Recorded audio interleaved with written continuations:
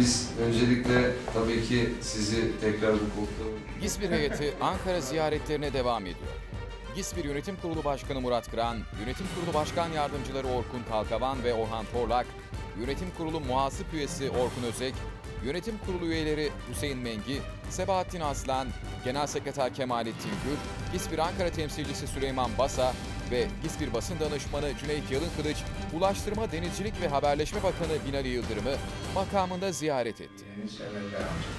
İnşallah. İnşallah.